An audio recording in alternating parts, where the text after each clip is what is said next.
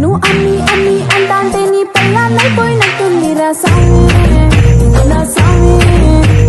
స్వామి స్వామి అంటే నా పెనిమిటి లెక్క చక్కని గుందిర స్వామి